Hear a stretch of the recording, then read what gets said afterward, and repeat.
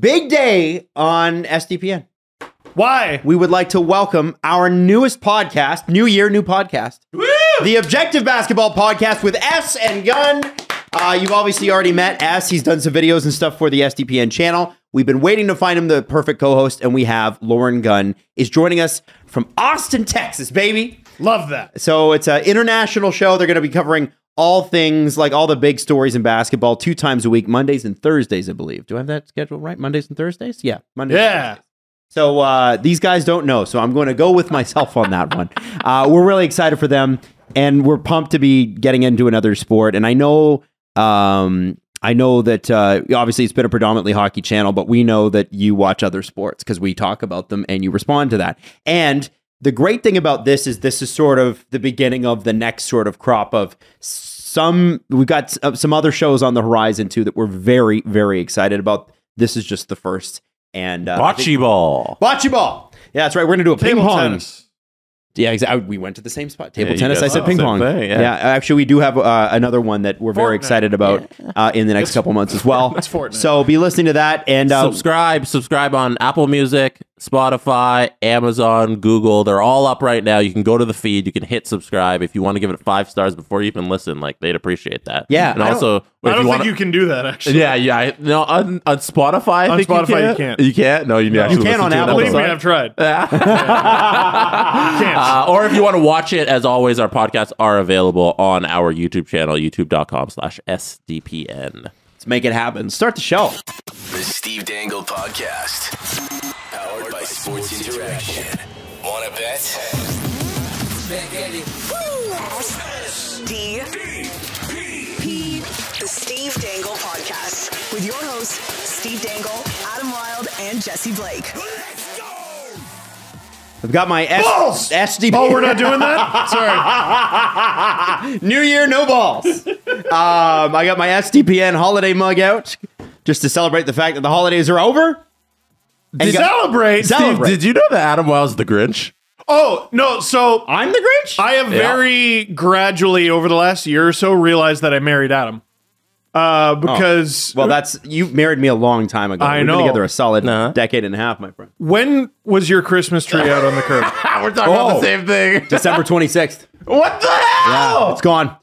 It Gone. was the our Christmas tree was out on the curb before I was out of bed. It was a on Boxing it was a week and a Oh half. my Week and a half till they came even to pick it up goodness. too.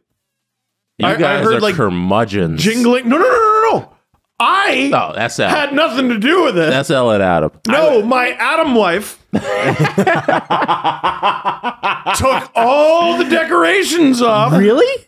and sh- Wow. she's five feet tall. It's like an ant carrying a leaf. She she lugs the the tree out of the house Hi to the ho, curb. hi ho. Yeah, except not jovial and green and the Grinch um. Well, at, at the beginning of the movie. my very Dutch wife uh does it as So soon as Christmas is over. Uh, is like, what's the point of this? I don't know if you know this about the Dutch. I'm learning this about the Dutch. They're very fucking direct. They're very. They don't mince Oh, words. know. and she's like, "It's Christmas. Uh, Christmas is done. Time. Let's move on." Yeah, but you learn. obviously on. agreed with it. Well, it was one of those things that, like, feel like as you know, very there- on brand for you. I think with with any relationship, you're like, is this the one that I need to plant my flag in the earth over? And it wasn't for me. I didn't I didn't feel passionately one way or the other. Either way, I was taking the tree. it's So ridiculous. you know, the So I got it holidays extend until the kids go back to school. so that's like so that- today, today. So today, you Today. be top dropping your tree. I took down my tree never because it's still up. and you know why? Because it's your damn home, Yeah, because I don't care. It's and you make the decisions there. Also, my tree's like six foot tall. Not even six, but it's like three foot tall because I live in a tiny condo, and it's mm-hmm. still up in the corner because like it's Christmas still. It's five foot tall. It's just what it looks like to Jesse. Yeah. everything is three it's feet a tall to regular Jesse. sized tree, but Yeah. it looks small to me. But I think Christmas season ends when the kiddies go back to school, which is today. So like now's the week you take down your tree, you mm-hmm. throw it on the side of the road. Like this is this Yeah. is the week. This is it. Yeah. And then you, and what the kids do is they on their way to and from school, they pick them up and screw with it and they throw it at each other and, and they you know just black eyes and and broken you always break just break off a branch and poke your friends on the way home. slap them with it. Just yeah. You would you wouldn't know this because you've never lived in a condo, Adam. I don't know if this ever happened in one of the buildings you lived in, but every year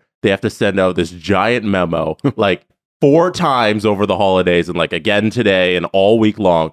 Don't throw Christmas trees down the garbage chute. Oh, I never got one of those. Every year, some fucking moron does it, and it it backs up the entire thing for like two days because they gotta go call the garbage company, and they gotta get in there and push out this damn Chris- Christmas tree. It's Man. crazy. And I remember when. Okay, so when I was twenty, How are we still on this planet? I was living Oh. in a low rise in Halifax when I was 20. And I had a girlfriend and she was living with me. And yes, we were very, very much too young to be living together. But, you know, when you move, it, it is what it is. So we moved in together, moved cities and whatever. And so we had a real Christmas tree. And after Christmas, we're sort of like, what do we do with this?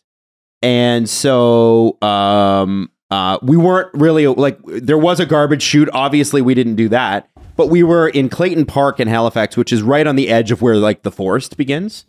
You know, unlike other cities, like Toronto is like it, it's a never-ending city because next to Toronto there's St. Catharines and Welland and Niagara and Clarington on the other side and, and Markham and everything else to the north or whatever. Toronto, did- like the this part of the world, just doesn't stop being a city. There's right? little pockets of there's there are trees here. yes, You know. rare though. Rare. in in other Canadian cities, the city ends and trees begin, and they go on forever. Mm-hmm. So we were at the part where the city ends and the tree begins, and so we th- we took the tree and we threw it off of our balcony in the middle of the night, thinking that no one would hear us. Oh my God, and you're it made, chair girl. and it made a huge crash. but but it's four. It was four floors up. It's a low rise, and then High up enough to kill someone. and then I went and walked around and dragged it into the forest. And then the next, I thought, oh, I'm being real sneaky. And then the next morning, there was very clearly a, a, like an indentation where the tree had fallen and a bunch of needles falling off. And, you know, it looked like it had been swept all the way to the forest. Yeah, you threw a tree essentially out the window. Yeah. Oh, yeah. Is it like it was just you open the door and there's your balcony? Go. Yeah, and that was Idiot. at 9 a.m. on Christmas morning. No, it wa- Before Santa wasn't. can even get there. It wasn't. Um, it wasn't. So listen, there's a lot. There's a lot to get to. There's a lot that we missed. I'm actually going to be going through some um, some headlines that uh, that we may have missed over the holidays and seeing what your opinions on some of these things are because some of them are dated now. A But in the moment, much like most headlines, it felt real. What is that?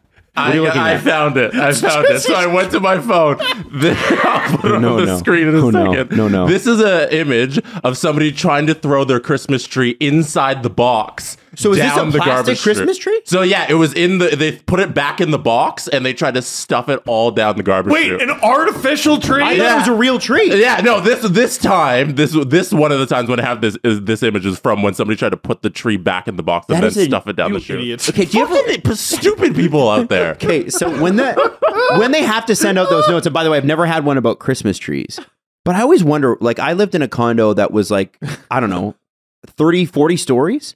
When you get clogged on the 17th floor, how do like how does anybody get that? Like, is there a pole that they ram down there? They're like, okay, I hope this goes down. Like, I what? no I don't know. How do you unclog that? I don't I know. have no idea. the people who do like construction work and like those kinds of maintenance stuff, like so out of my realm. yeah, they Like, they know so they're much, and I know so little. Yeah. I the CN Tower has never ever gotten old to me. Every time I look at it, I go, "How?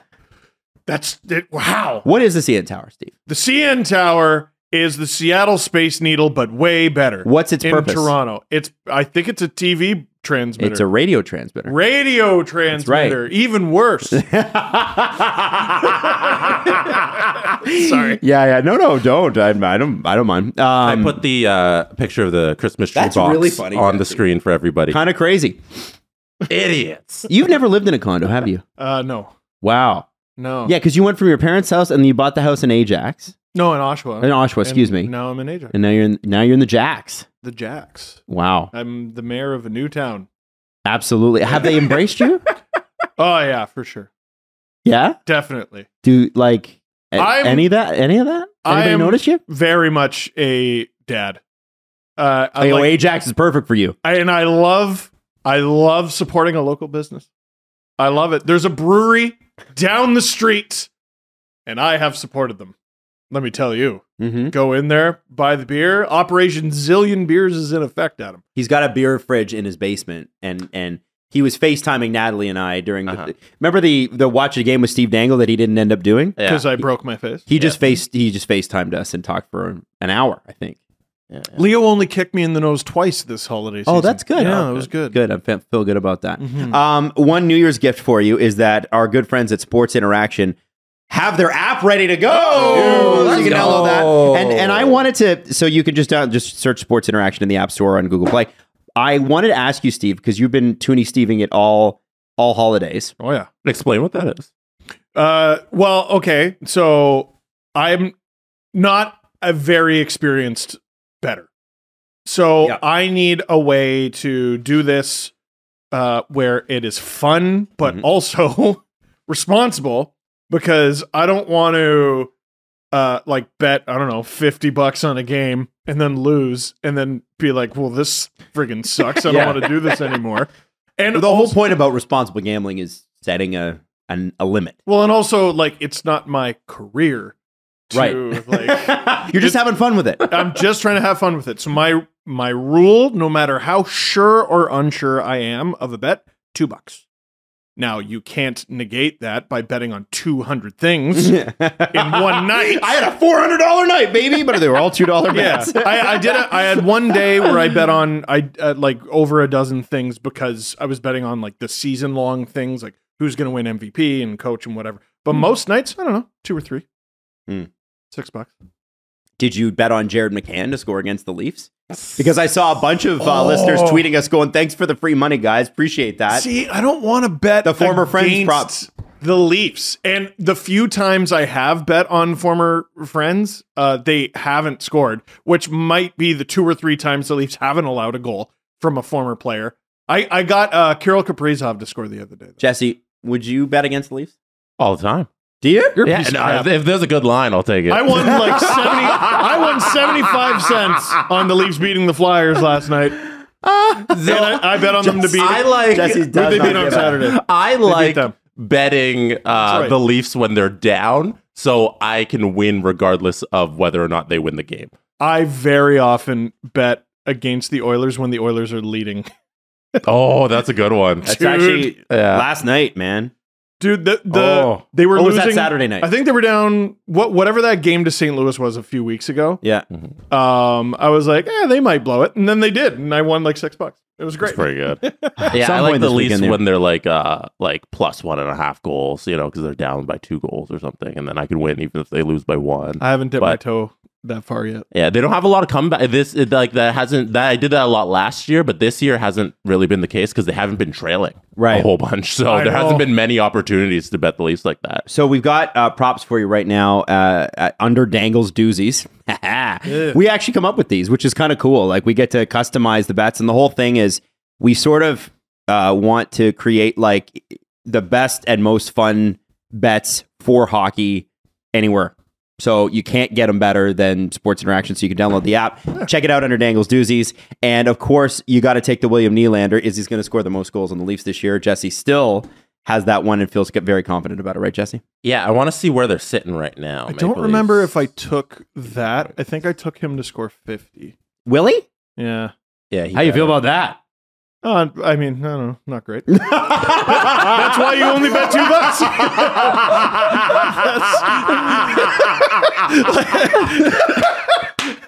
I'm not. I'm not very good at this. So Oh man, that's funny. oh, that's good. That's good. Um, okay, so Yeah, Willie's up two goals on Austin, same amount of games played. They played the full season 41, 22 to 20. I think Willie holds on. Austin caught up though when he so. scored He didn't. the, the He's- sixth goal last night. still Were you like, oh damn? mm, Yeah, I was because I, I hope Willie scores every goal for the Leafs. So uh, he didn't catch up, Steve. He's still two down. When okay, so Austin and Willie have a two on one. Yeah, Willie's the puck holder. Austin better pass it back when Willie. Yeah, gets that's it. right. What do you scream at the TV? Don't you dare! no! Absolutely not, Willie. He did it. Thanks. Austin, Thanks. Austin has to know you got to make that that third pass. Go one or the uh, the second pass, I guess. Mm-hmm. Once Willie gets the puck, it's got to go back to Willie. You, so last Tic-tac-toe. night, We- you should've- We've all played you should have passed it. Yeah, you're right. We've all Yeah. played CHEL. Cross cross crease tic tac toe Yeah. goal every time Jeez. until about 2017, and then they were like, "No, we're not going to do that anymore." It's back. It's Is it back? Yeah. Oh man, that shit I still remember works. when that game came out. I was like, "What the f-? like?" The only way I know how to score because I never bothered to learn any of the deeks. Oh. So I, I was like, "What the? F- I can't score anymore." You know what's killing me as a defenseman is now when you poke check, whoops, when you poke check, Mhm. you slow down. Mhm. Oh, which makes sense. You got to do it really strategically. Oh, see, I was poke checking at a penalty, so I stopped doing it. Oh, Just in general. oh, so you're Mike Stevens then? Is that what he Mike presses does? the penalty button, which is stick lift. wow. no one, stick lift doesn't work. Yeah, stick In lifts if you're trying to show off. Yeah, Yeah. and it just does not work. No. He goes ba- and he But- gets angry and then goes and turns on the Batman But- again for the and- fortieth time. I think the most angering thing about Mike Stevens when he takes that penalty Mm. is his utter disbelief that it happened. it's like what? what do you mean? No, how? The What- same way as okay. last time, Mike. Stop doing it. Okay, okay, okay. Power rank this: the top three worst, like like stupidest penalties you can take when you're playing CHEL. Like the ones that like Okay. will drive your teammates crazy. Uh, the stick lift penalty or the the the yeah, this the it penalty button. Yeah. It's the penalty button. The stick lift. In what order though? That's that's Number one. one. That's number one. Because that Okay. button Number one. serves no purpose for you like getting the puck. There's like no it, it doesn't yeah. help. Oh, okay, okay. Yeah, no, it's awful. Number two is probably the charge, Mhm. um, because uh, it's easily avoidable. Sometimes it's accidental. It's uh, it's avoidable, but the odds of you laying the hit and not being out of position Oh yeah. on a charge Because you got to be you got to be pressing like the speed button, right? you got to be you got to be going a, a fair speed, fair distance, Coming from center ice to hit a guy against the board. Yeah. and then. I'm pretty good at not tripping. I would say for me, I get frustrated when I take an interference because it's very often I just hit the wrong guy by accident. I got one. Uh, when somebody presses L1 and R1 at the same time, and you do the dive across. Never and then- mind, I do take that penalty. Superman. and then the the player with the puck just goes over them. You get a tripping penalty. Yeah. you know that, Oh. that you're you can't be doing that. Like, Is that what get into- happens? yeah. So Yeah. they'll just run. They'll just fall over you, and there's a penalty on you. there are ways to not take the penalty when you do it. It's Right. just really hard. Yeah. So stop hitting R1 L1, Steve. So I'd yeah, I know. I, I, so I'd say, you do it, don't you? I, I do. I do. That's I, I try to do crouch block more Yeah. now, but it's Yeah, not you got to do Oh, the man. one one knee one. Yeah, but It's more now effective. it's it's that's even worse than the poke check because when you do crouch block while you're going backwards, you don't slide anymore. You just stop dead basically. you, you, you kneel down on the ice. yeah, That's well, if I'm trying to cut off the two on one, which I am often, thanks Ian. Um, you know what I love about Steve? Nothing has ever changed. Jesse, when we played with him, Steve always was the same way, which was, how come you're not doing exactly what I want you to be doing Yeah! right now without me communicating? how come? Anyway, continue. Um, we have a recipe. It doesn't work, and we stick to it. That's right. and uh, no, yeah. So when you when you do the crouch block, you basically stop dead, and then they're able to. You don't cut off the pass or the shooter, And then which is keep great for the goalie. Eh, except it's not, and then they score, and you're. Is Dangle Very. Navy? Are you guys good again? Now that you had some time over the holiday to play a little. Mm, I think we're pretty good. Yo, Yeah. Myrtle is a sick goalie. Okay. He's the I I we've talked about this before, but I call him the paywall. Yeah. And he's oh man, he he likes to put together the worst set of goalie equipment he can find, like just very visually upsetting, and he just puts up solid performances. Mhm. You you won a couple games. Yeah. Yeah, won some games. What what div? What division? Uh, I think we dropped to two. You were Div 1? Oh. We were That's impressive, man. Those those are hard games. well, really impressive. Listen, it depends on who's playing. Okay. There are nights where we should probably be in Div Five. there are nights where we could probably. What's the- okay. What's that one. lineup? What's the ultimate lineup? D- no, you have to be honest. Yeah. Who, who are you skating? Who are you benching for the, the, for the, Div 1? the lineup where we have the most fun. You know, What's that lineup? We're gonna break up Dangle Navy Yeah, right no, now. Absolutely yeah, no. Absolutely not. You know what I'd like to do is I'd like to do an anonymous survey of all the other members of the uh, Dangle Navy group and and talk about Steve's biggest faults and stuff. I think I'm going to do that. Oh, I'm going to reach out to them, start a group chat, and be like, okay, guys, I throw stupid hits. Yeah, there are some nights where I'm just like, oh, but it's fun, and then I try to throw a stupid hit, and then it's a two on one that Ian has to take care of. have you guys ever like because I know certain teams are super intense. Have you ever gotten to the point where you guys are sort of mad at each other Oh, and you have the to just be quiet? Oh, oh, ho, ho. Yeah, oh, we have. There's one member of our team, Nick, who will just Nick Mr. D'Souza? La, Laflame. no, no, uh, Nick Laflame. Oh, yeah, wait. okay, okay, okay. Nick Cash. Yeah. and he will just turn off his mic. Mhm. No way. It was just That's a that's an mic. adult thing. That's the right move. And the youngest member of our team. Yeah, I met him. He's very nice. Oh, you don't want the silent treatment from Nick. it's like the silent treatment from Jesse. You know you're in trouble. Mm. When Jesse isn't want it. saying something, it's it's isn't it the worst for us? Oh, Torture. it's terrible. He's not mad. He's disappointed. Yeah. No, and me not saying something is the first two years of the podcast because you know I couldn't Well- get picked up, and I was just so upset. Often on those episodes that we were disappointing anyway. So Yeah, you know, yeah. I understand that. You know, I just it's just resentment. Just I have building to wa- resentment. I have to walk from the ghost station, and Steve gets his Steve gets his chauffeur. You know. oh, that's right. Mhm. I had a two seater car, Yeah. and I didn't know Jesse was coming from the GO train, and I would pick up Steve at the GO train, but not Jesse. Yeah, Jesse did no. the very adult thing of um, solving the problem by doing nothing. I handled my business. I knew whose name was on the show and who needed their Oh, you their it! carriage ride You to Adam's apartment.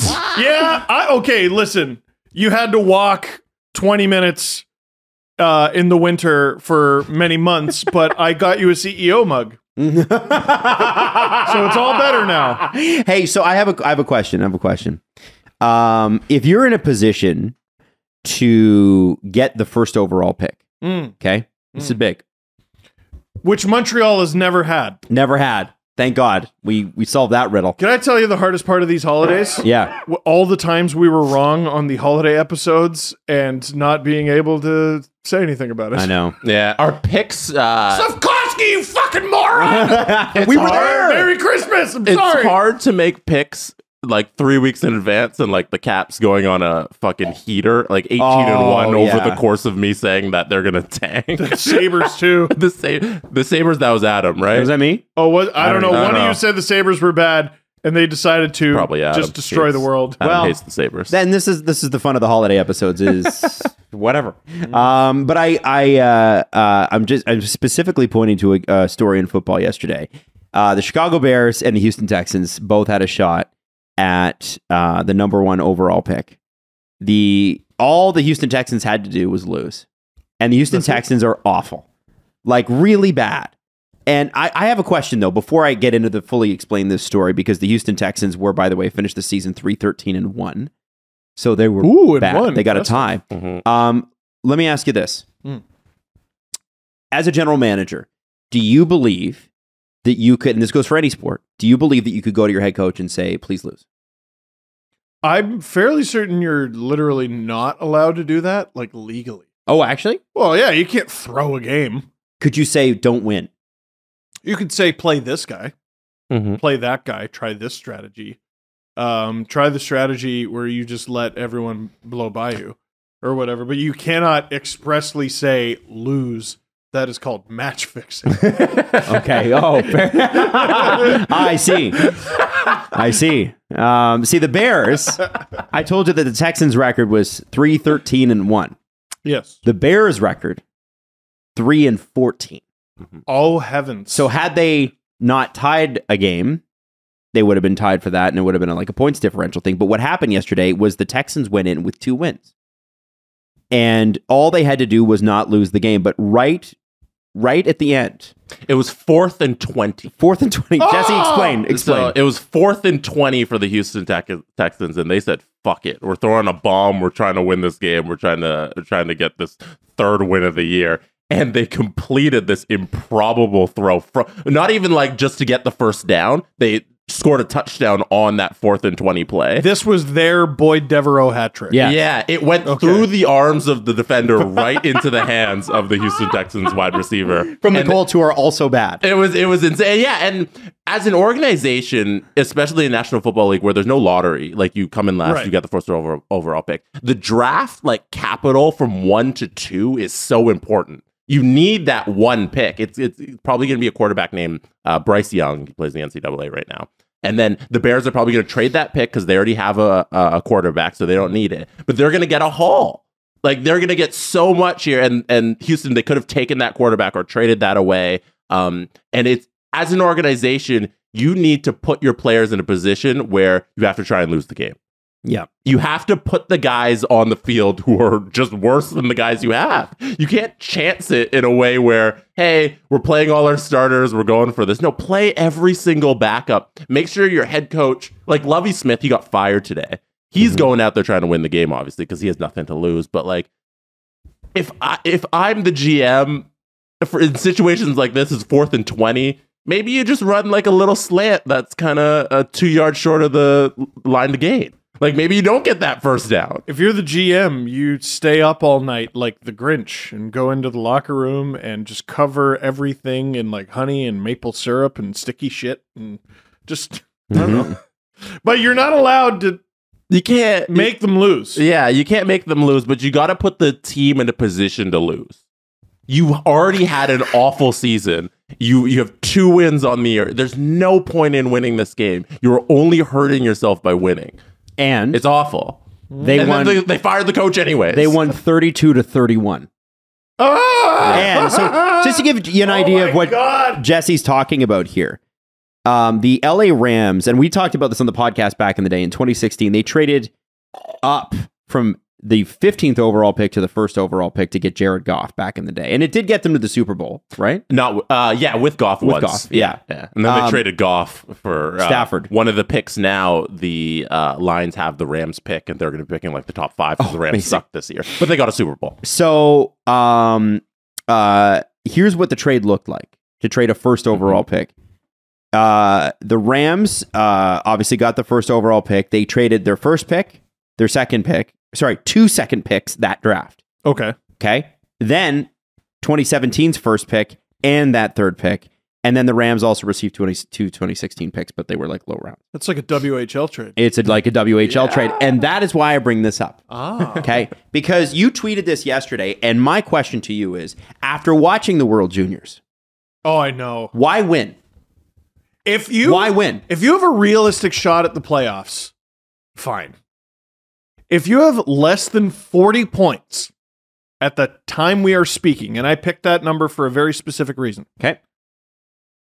do not try to win games. That's 10 teams, by the way. If you want to include the Panthers, I do that, not. You don't. So that's and this 11. is the thing they don't have their first pick. Oh. Montreal has it, and it's not top 10 protected. Oh, that was Chiarot, wasn't it? No. It's Giroux. fucking Ben Chiarot. Oh, was oh, it? it was the Chiarot trade, Oh, which what is am I thinking, looking worse Giroux? and Ben worse. Chiarot might get the Montreal Canadiens Connor Bedard. Damn. oh. And Florida, the Panthers, let me just say, as a team who has to play in your division, but also in Montreal's division, what the fuck, man? They need to straight up. So they have 40 points. Yeah. There's, there's a reason I picked that. They have a bunch of teams above them. Buffalo is one of them. They're not in a playoff spot, but they're hot as a pistol. Mhm. Uh, And what's interesting about Buffalo is their goal differential, and that really counts. They're a plus 22, where everybody else around them's like a minus seven, minus eight. Uh, Buffalo's the real deal. Like they're they're doing great. they're good. Yeah. Mhm. They're good. They're straight up good. Um, and then there's the Kings who are top 10 like they've been all season and a negative like they've been all season. It I know. make any Well, they know what's sense. scoring goals, right? Uh, I don't know. I don't get it.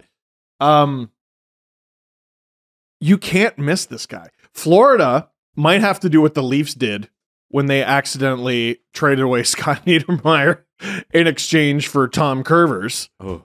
um, which is similar situation. You spend a first round pick over a year ahead of time. Mm-hmm. You don't realize you're going to be shit. Then mm-hmm. you're shit. Florida, like people I, I- I've seen we're talking about Florida trading off assets. You dumbasses, buy, buy. Do you want a team in your division to get Connor friggin' Bedard? They might get him anyway. They might get him anyway with their own pick. Yep. Yep. You idiots. What's the the lottery odds to get one overall? You got to be top Twenty bottom. percent. Twenty percent for I think- is- No, is but your the bo- there's a cutoff in the bottom. You got to be in. Isn't it? Like It's win. no if you if you don't make the playoffs. E- everybody has a Everybody's in. Everyone who Oh, doesn't wow. make the playoffs, But the percentages are very low for literally everyone. It- right, right. I don't think it'd be 20 anymore because there's a different amount of teams, but it's uh It's like eighteen yeah, percent. there, there's ways to people have been posting the it, it- the most terrifying thing I saw over the holiday is um when people do the draft simulator and Montreal gets 1 and 2. They easily could. You you can go Bedard Fantilli, Bedard Michkov, Bedard as long as it starts with Bedard, it's going to be a big well, problem. so he had twenty three points in seven games. Stupid. Like, why would you? Like, honestly, why would you try to win? Trade everything you have. Do you see his his return to the WHL last night? Yeah, he, what did he have? Another three assists or something? No. He had six points. Four of them were goals. Thirteen shots. So I Two of the goals apparently were shorthanded. so I was I was right on the the number one pick thing. You need to be at least in the bottom ten because you can only jump ten spots. Or you, you need to be in the bottom eleven because you can only jump up ten spots in the Mm. draft lottery. Oh, Yeah.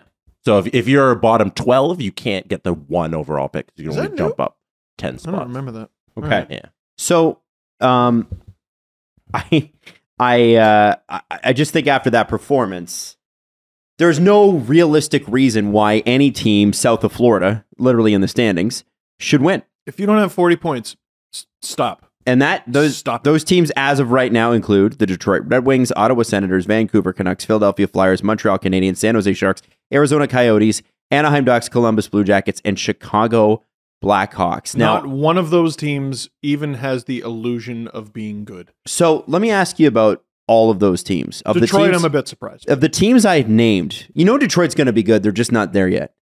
Of the teams I named, what team is going to screw this up?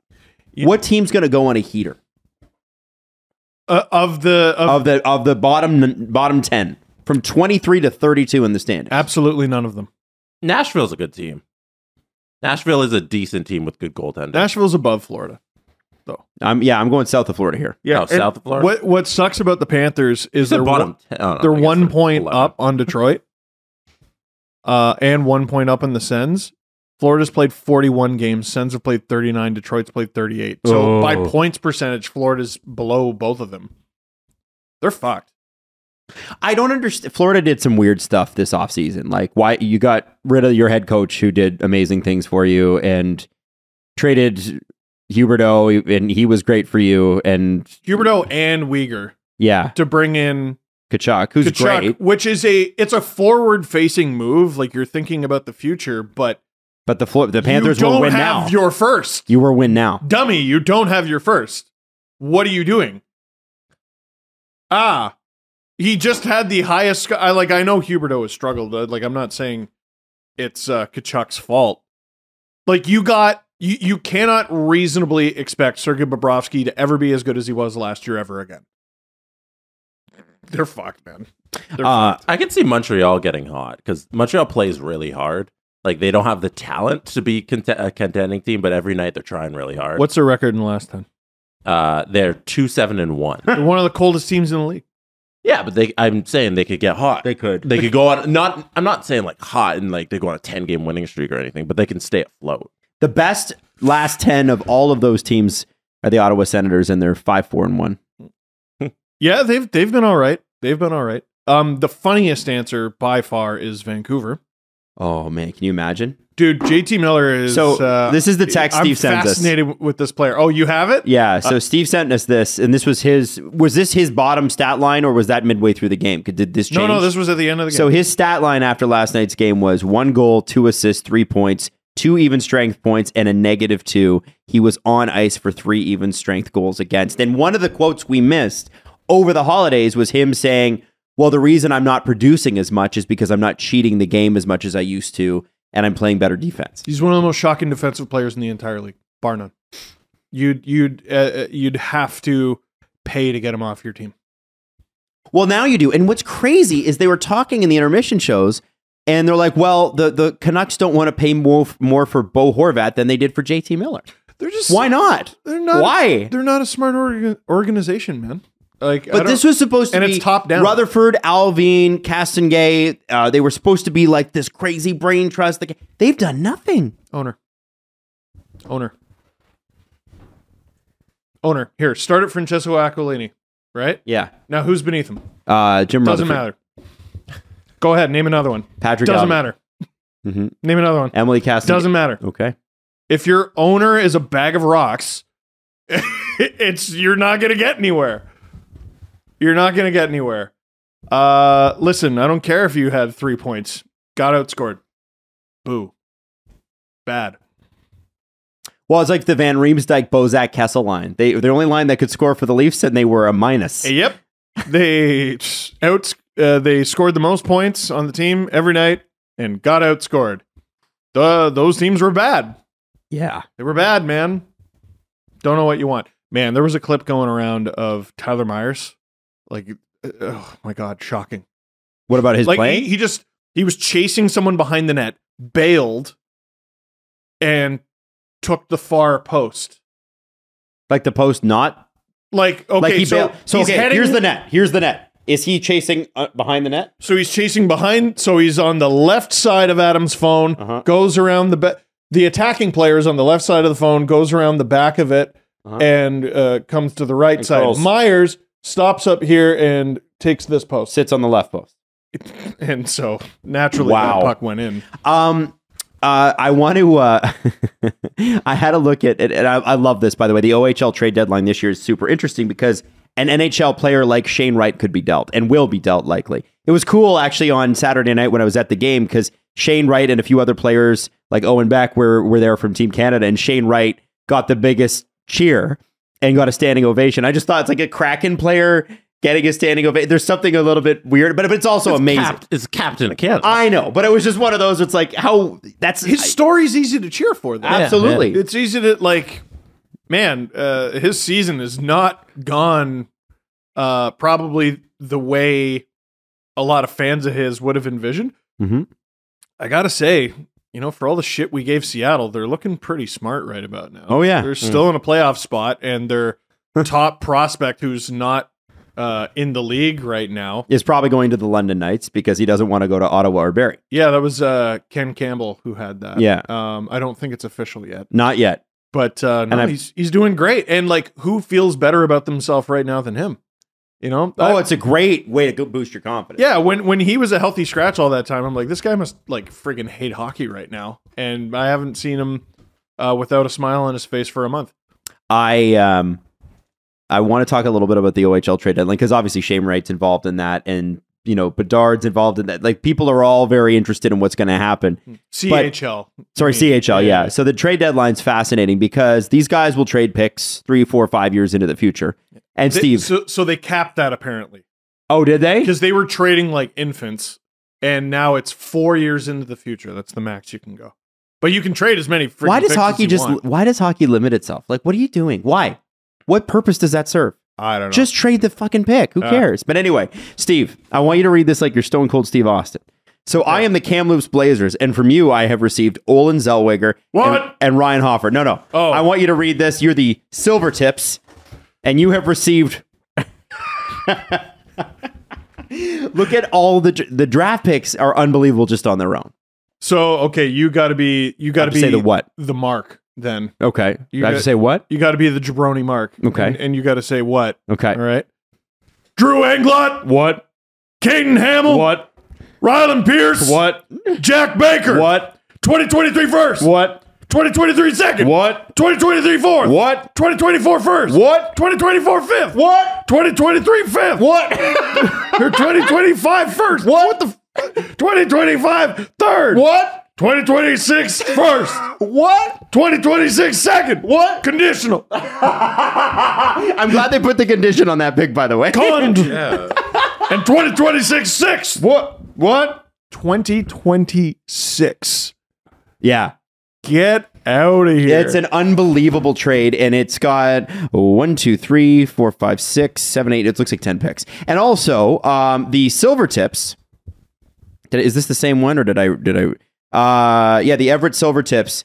Uh, oh no, that's the same one. That's the same thing. I I had a different uh, trade lined up, but I I reposted it twice in my notes. Forget it. I just think um, it's funny, and I think Down Goes Brown was tweeting about this. He's like, general managers in the NHL are like, oh, I don't know what we can do. Uh, Yeah. And then I know the OHL doesn't have a salary cap, but that's what you can do. Oh, they don't they don't friggin' care. Like they uh and and it's been like this forever. This is a particularly big one. So do, do I still have it in my phone? I what I tried to find was uh there were two two trades I thought of with astronomical returns. And I found this one. Head coach and general manager Lorne Molleken announced today that the Saskatoon Blades Hockey Club have made a trade with the Brandon Wheat Kings to acquire center Brayden Schenn and a 2012 third round pick. In exchange, the Blades have given up four picks a first round in 2011, second round in 2011, first round in 2012, and a first round in 2012, uh, the import draft. The Blades also included two uh, prospects, uh, Ayrton Nikkel and Tim McGauley. And the other one that I thought of was Tavares. Now, this one, Yeah, I remember that one. I wrote about this in the book because it. Uh, I I had to uh, write and prepare the shows for Junior Hockey Magazine for Gino Reda, and just as I finished my script for the day, this trade was made, and I had to crumple up and throw out the entire thing.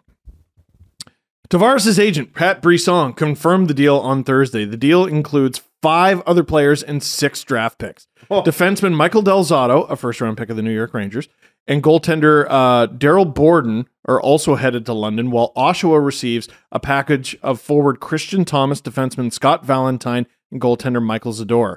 In addition, the Generals will also get six draft picks, London's four second round picks for the next four years, and the Knights' third round picks in both 2010 and 2011. Wow. Big, big deal because you got to swing for the fences. If you think you have a chance, you got to go for it. Well, and London always seems to have a chance, and it seems like they're going to get Shane Wright eventually. You know uh, what happened in London, though? What that happened? year. They lost the tightest five game series in hockey history.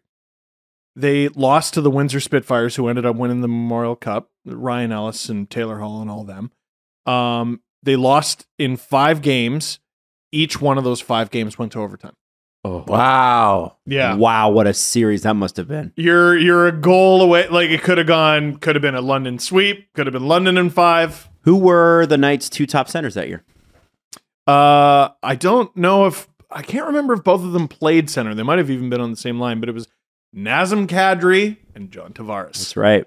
Very, very, very good team. Mhm. Um, Not bad. Very cool. Anyway, the the OHL trade deadline is super fun to watch. So what I want to do is is talk a little bit about the Leafs this weekend, Sure. and then I want to go. I re- want to rewind the last couple of weeks. Okay, guys. So that's how I want to kind of structure this. Let's start with Conor Timmins, who Oh had my God. seven career points in 41 games coming into his Leafs tenure, and he now has 10 points in 12 games. And I'm curious as to how he could even be scratched at this point. and his first NHL goal. I he did not have a perfect game against the Flyers, but like he's a good player, man. It's not just about the points. Um, he does a lot of really smart things. Mhm. Uh, he's defensive with an offensive slant, which I think is exactly what the Leafs are looking for. My question is, unless there's an injury, who do you take out? They put Justin Holl up with Morgan Rielly. I don't think they're jacked about taking that guy out. Uh, you have Liljegren and Sandin. Well, you're not taking Liljegren out, and you're not. And that's a taking good pairing. Out. It's a good pairing. They had a bit of a speed wobble. They were they were great last night. And then you got Mark Giordano, who's not coming out of the lineup unless it's to rest him. Mhm. Uh, And TJ Brodie and TJ Brodie, who was out of the lineup. to I- rest. Uh, yeah, to rest or whatever. Who do you take out, man? I the logical answer I think Justin is Holl, Holl. but no. But is Connor Timmins better than Justin Holl, and has he earned that trust yet? And maybe not. I think so. But Like, Jesse, you say you, no. You you hit on it kind of in the LFR briefly when you it was because the reaction should be is like, oh no, the Leafs have an awful problem where they have seven defensemen. Yeah. Oh, this is awful. No, this is good. And It's Jordie. Benn was good when he wasn't injured too. Yeah. Yep. They, dude, they had two great games this weekend, and the solution to a problem that doesn't exist shouldn't be to scratch a guy who played in both games. no, Yeah. this is uh this is a good issue for the Leafs. They have seven qualified defensemen. Unfortunately for Timmins, like he's the odd man out unless there's an injury. And the the thing with the Leafs this season, there's always an injury to their defenseman. He's gonna get in there. Guys need rest. Guys get hurt a little, and he's gonna get some time. But right now, it's Sandy and Lily, Gio Holl, uh, Rielly Brodie, and that's it. This is the deepest and most versatile the Leafs defense has been in a long time. And the reason I say versatile is the amount of different pairings they've had is wild, and the amount of them that have actually worked is pretty wild too. It's it's interesting the the first three months of the season, and I do want to do a bit of a wrap on those first the first half of the season with you guys in a little bit. So let's not get too much into that. But it's interesting that it's almost played out like the playoffs do. Like there's injuries, you got to play with somebody else Little for a few for four or five games, and you got to learn. Yep. And they've they've Figure done quite out. well. Sorry. Um, what what did you see over the last? By the way, I was at the game on Saturday night. The Indigenous uh, celebration night was awesome, but those jerseys are spectacular. Mhm. You- so cool. You can still get them on the Real Sports website for auction. None of the jerseys are available for less than a grand. they're they're sick. And the they're pucks so are cool. 250 bucks. My bet, and I know a lot of people are sort of complaining about this. I think you have to like register this stuff with the NHL or whatever before the season starts, but to get it done. But I imagine that they're playing in those jerseys next year. Oh, Like, I man. think the like at NHL's least got one rules. game for crying out loud. I think I think that this probably happened later than they were, you know, because there's probably like a deadline where you have to register your jerseys, right? I don't think the Leafs are like, ha, Hmm. let's let's not use this. I'm I think that it was probably something that came along later, and they'll probably have it be a jersey next year. And the profit from these auction items, by the way, go to indigenous charities. I don't remember the exact name of it, but I saw some people like, oh, so the Leafs just pocket that? No. Ap- apparently not. No, No, no. Well, I don't Like, know. It's look it up. man. look it up. Come on, guys.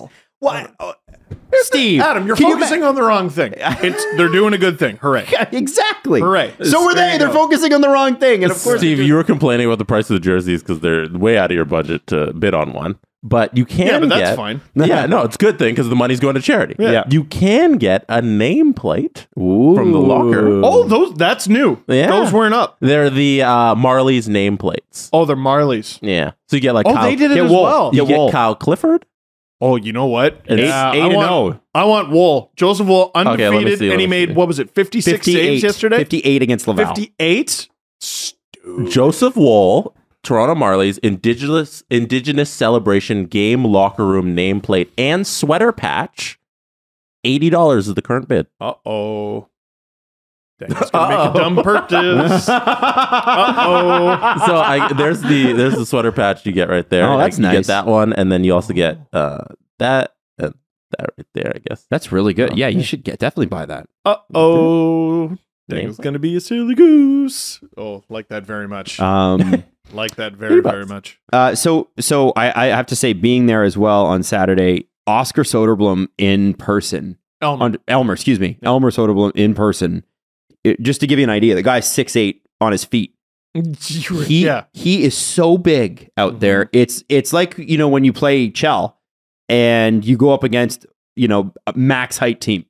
Like all the players are max height, and The you're like, worst. screw these guys. I hate them so much. When, when you're playing threes eliminator and interference is legal. oh my god. Leave me alone. Threes is awesome. He Soderblom is it's it's he's a creative player, and Oh, when yeah. he's out there, you can see like I'm, I'm I'm- I was thinking there, I was like watching him, and I'm thinking about Tage Thompson, and I'm thinking, is the NHL going to swing back tall again? Dude, Because it went small for I- the last five six years. I called this years ago. I called this years ago. Because the market inefficiency, th- okay, it was all big, slow guys. That's right. The market inefficiency was little, fast guys. And the big guys are going to find their way out of the league. So, what did the big guys learn to do? They got fast. Skate! They figured out how to skate. They got ridiculous hands. Uh oh. Yeah, Uh oh, everybody. yeah. I do think you might be fucked. Uh, the Leafs also last night got a little bit of depth scoring too, like Zach Aston Reese getting his fourth goal. Um, how important is that going to be in the back half of the year? Do you think? They need it. The, they need it bad. It's something that they they struggled with. He now has more goals than names.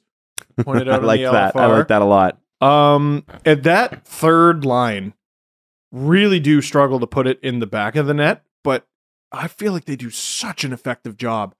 Like Kerfoot's really found his niche. Uh, Engvall and Kampf make beautiful music together. Mhm. Love Kampf as a player. Everyone keeps talking about the bunting extension. Extend that guy. Kyle, eight years right now. Do it. Um, and Aston Reese and Holmberg have formed this great duo that you can put anyone with them. Holmberg's a, a really interesting one because you know he's a late round pick. Overage pick too. Yeah, it wasn't like who was talking about Holmberg before this, unless you were like a hardcore Marlies follower. No one was talking about this guy, and he's come in and he's like, "That's my spot now." That's my spot. And remember when the Leafs were not playing well earlier in the season, it's in part because they had their three centers and then they could not figure out who the other guy was. Right, and Kampf was playing fourth line. Kampf, yeah, quote unquote, Mhm. fourth line. But uh, uh, looking at the team, Engvall was there, Kerfoot was there, uh, Jarnkrok they tried at center, um, and I want to say some guys who aren't even on the team anymore. You know, think of all the guys who went through the bottom six. Remember when Nicolas Aubé-Kubel was on the team? Yeah, you know, uh, they they could not figure it out. Holmberg went in and he stabilized everything up front, and then they kind of went on a run. Matthews, Nylander, Marner, bah. It's Holmberg Holmberg. who stirs Well, the drink. and uh, Calle Jarnkrok has done an admirable job, basically doing anything this year. But but on that second line, it's cool to see Marner and Tavares together because they played so well together the first year. Mhm. that they were in Toronto together. But Tavares, I mean, I think he had three goals this weekend. Um, one Yeah. last night and two Yeah. two against Detroit. Mhm. Marner with another three assists last night. But I want to talk before we get to them. I want to talk about Jarnkrok and what he brings to that line because that's ne- that's always been the question. It was you know Hyman and Matthews, and then either Nylander or Marner on the top line, right? That was Yep. always a. Yep. But what they haven't been able to figure out is that second left winger yet. Mhm. It was did we do is it Kapanen? Is it Janssen? Is it all the guys that Brown. Brown, uh, like all the people that were cycled through there, is Jarnkrok the guy or are they still looking at the deadline? I think you still got to look. Yeah, that's still a spot you can upgrade. Like even uh, the JVR hype kind of died down a little, but like Why? JVR would still be a lot of fun there. He'd be Oh. great on the power play. yeah, Wonderful tipping. for vibes. right. Wonderful. but like even last night when later in the game they had Holmberg with Simmonds and Bunting, I'm like, ooh, that's a little fun. that's pushing Bunting down is fun, but when he's on, he's you know that line is unreal. It's weird. They didn't have the best game last night. Um, still won by four goals. Um, if you can get a guy to push one of Bunting or Jarnkrok, probably Jarnkrok Yeah. down. I mean, then you get Jarnkrok in the position that you got him for. I don't. The Leafs tried so many different things before Jarnkrok at that 2LW spot that I'm willing to bet they were caught off guard by how well this has worked out. So I think that's still the position they improve at. Um, I have no idea where they put him though. Yeah. It's Uh, just you, because, you can why get break up that third line? You can get greedy here because your defense is working out so well. Like defense has been the thing that all season and all off season, like oh, you need to go get a defenseman, you improve the defense. Defense is fine. Let's not go mess with this. We already have eight defensemen who are decent. Let's go get a forward and get greedy about just having a scorer on that second line. And, I and had a tweet prepared and I clicked off. Oh, great. the other thing, the other thing that Jesse, to your point, is uh, the Leafs goaltending uh, itself as well, which has been unbelievable this year too. And it's sort of like Samsonov is still at a 916 despite a couple of bad games. I mean, Followed by a good one. followed by a good one, Matt Murray at a 916 as well. Mm-hmm. Mm-hmm. If he had a he had a surprisingly good game, and I say surprisingly because he, he shouldn't have had to have as good of a game as he did Against Philly? against Philly. And Yeah. you look at the three goals the Leafs allowed this weekend. Uh, Luke Wallman, a defenseman coming out of the box, gets a breakaway. That was the only goal he scored on Samsonov. Marner, who's the best defensive forward on the team, uh, with a breakaway or with a breakaway, sorry, with a giveaway straight to Travis Konecny. That's very uncharacteristic. It's rare. It's not the sort of thing worth flagging. But you're hanging your goalie out to dry. And then you get a nasty like toe drag forehand backhand from Nick Deslauriers. You know what I mean? Yeah. Uh three goals that you can count on not being available to your opponent most nights. That's good. That's really good. I'm like after a couple weeks that made me really nervous. Mhm. That was a nice little weekend. Keep it up. I, I, yeah, and I, I do want to talk about those. I, I think, with all that said, like it, Friedman has kind of said, and I think CJ's talked about this a little bit. It's sort of like, what are the Leafs going to do? Well, they're going to make a move, one move, because that's all they have the capital for, or believe all they, all they believe that they have the capital for. And really, when you look at the defense and you look at the goaltending, you don't really have the need there. Um. So I'm so excited to listen to CJ show today. Yes, that's called a plug. Because he wanted to talk about the Leafs today. And oh, you saw the group chat message, right? I saw Yeah, the group yeah. chat message. He didn't say what though. And I love when he does that. Like Tell Andrade to post that thing as fast as possible. Nick, get it up. because literally all he does is he goes, I'm talking about this. And he leaves it as a nice little juicy teaser. So yes, I could talk about this, Adam. Mhm. I want to hear what CJ has to say. This this next like month and a half. I mean, this this is the CJ show's extended Super Bowl. Absolutely. right? Leading up to the trade deadline. The dude never leaves his phone. He just glues it to his hand. Oh, I want that. I like that. Now, um, with regards to um, the stars on this team, Tavares, three goal weekend. Marner had a three assist night last night. Matthews has got his next 20 goal season locked up. He's the third American player ever to start his career with this many 20 goal seasons in a row. And through all the injuries and stoppages and Wow. Yeah, everything. It's amazing. Um, and Nylander playing Nylander and and and uh, Matthews playing great together. They they have a great sort of. It's less explosive than Marner Matthews, but there's something about them about watching them that they I they it's it is it is like when you watch when you watch uh, Marner and Matthews play on the same line together. There's like a it's less chaotic. yeah. Is that what you'd say? I think it's less. Uh, Marner Matthews was completely unpredictable. Right. Okay. Yeah, I feel like there's a little bit more structure to Tavares Marner Jarnkrok. Okay, I like that. Yeah. I like that. So, my question to you is um, right now, right now, who of them is the best player on the Toronto Maple Leafs? Who's playing the best? And I want this for both of you because they've all had their sort of moments. Who's the best of the four right now? I absolutely hate the discourse around Auston Matthews. Like he's having a bad season. I hate it. I hate it so much because the games are readily available in so many different places Mhm. and you can watch them. and he looks great. Like even last night, which wasn't the best game. Like, you know, some players can talk about how they're getting tough assignments Mhm. and how they're not cheating the game. That's Matthews. That is Matthews. And he's getting his power play cookies. And listen, he is a little snake bitten and he is having a more difficult time uh, getting into scoring position. But the attention to detail he's paying on defense this year is next level. So because he's the number one center and doing that, I'm tempted to say him.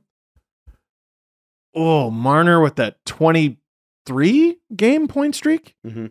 top power play, top penalty Is kill. he not the best Leaf this year?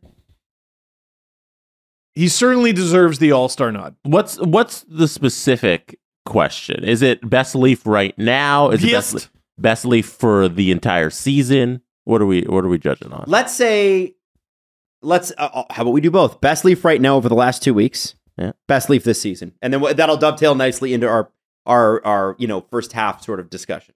last two weeks, I don't know if this will catch you by surprise, but last 13 games for the Toronto Maple Leafs, William Nylander has 17 points. Auston Matthews has 16 points. Mitch Oh. Marner has 16 points. Oh, Uh, that's William Nylander leading the way. So you're saying Willie? I think he he's figured something out this season. Like he looks he looks a little more special out there. I love I love when he gets to the front of the net. They were talking about it. I think it was the broadcast last night or on Saturday where he gets to the front of the net and he's not he's not doing the Michael Bunting thing in the front of the net. He's he's dancing around. He's moving and then he gets the he gets the rebound. He's always in position. And I think his shot looks a little more deadly. William Nylander's been great, but like this season, Mitch Marner's been at a whole other level with his game. It's hard for me not to say that Mitch Marner hasn't been the best Leaf so far Yeah. this season. After his sl- after the entire team's slow start, since then, Mitch Marner for me has easily been the best Leaf. you know, like you think of all the guys who have been like locks for the Selke conversation o- over the last like generation, mm-hmm. Toews and Kesler and Bergeron and and all them, Kopitar. I don't remember any of their teams being like, ah, you're as good as a defenseman. like the Leafs, like forget in the preseason where they were forced into a situation where they're like, ah, okay, we need to throw out forwards in a preseason game as defensemen. No, the reason they did the five forward power play wasn't to get their five best players out there. They're like, ah, Mitch is as good. That's fine. So And now they're just doing it. I saw them do it on Saturday. They abandoned it last night because they got Rielly back in there to try and get him going. they don't need it. Yeah, and it's a little. It got exposed the other night when Mitch they got allowed that shorthanded goal. 'cause Yes. Mitch, Mitch was going forward because he's not a Yes. defenseman Yeah. and he wasn't skating backwards on the play and he couldn't be in position. So in those situations, like let's just let's okay, we have Morgan Rielly, throw him in there. We don't need to force it here. And and Sandin and Timmins who Yeah. put up a lot of power play cookies and Giordano and like mm-hmm. you don't need it. You don't need it. but But to it's kinda fun. Mitch's credit, they can do it because that Yeah. guy is so talented at the other end of the rink, and he's been the most versatile and the best Leaf so far. At risk of sounding Toronto centric, because you know we would never want that. On, not on this show. I know that wingers like Jere Lehtinen was like the last winger to win a Selke. Mm. Hossa never got one. Hel- Hossa never got. It was ridiculous. Yeah. But you have to think Marner's in the top three this year, right? Kills penalties, Ooh. scores like crazy, quarterbacks power plays, like defensive quarterbacks Right, power plays. Right, right. Um, and and really, like even when Rielly's on that power play, Mitch is the guy quarterbacking it. He has been top 15 and I think even once top 10. in Selke. Yeah, uh Because you got to earn it with the Selke, right? Because the Selke's less obvious. It's easy to, it's easier to vote on a heart if you're an out of town because it's the writers that that vote on it. Can I tell you? on the Selke? Fourteen is his highest. really? Yeah, Like it's easy for it's ten. hard- no, actually. 10. Ten in. uh Canadian division. Yeah. Oh, okay. uh, So it's, it's harder. It's harder to like Sorry. to watch all 32 teams and go, Yeah. who's a good count? defensive forward, right? So so you have to earn the Selke. The Selke takes years to earn. You to develop that reputation. And I I'm just wondering if he's in that conversation because because really, what takes him out of it? What about Mitch Marner's game would take him out of the conversation of being one of the top three all around slash defensive players in the league? Oh, give giveaways like last night's. Okay. Oh, that was a bad giveaway. that was really terrible. he, didn't, he didn't see him. Who was the Who was the one who just caught the puck on his stick? It, uh, Who do you- Konecny. Connect Yes. me. It He didn't was see so him. bad that I shouted out. You know what I shouted at the TV when he did it? Oh, Tim! I thought it was Liljegren.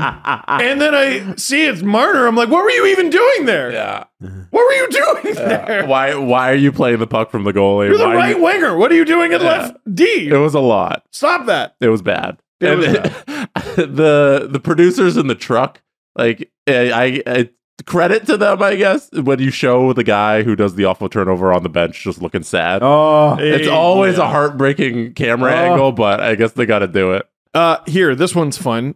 Marner was 16th in uh, Selke voting last year.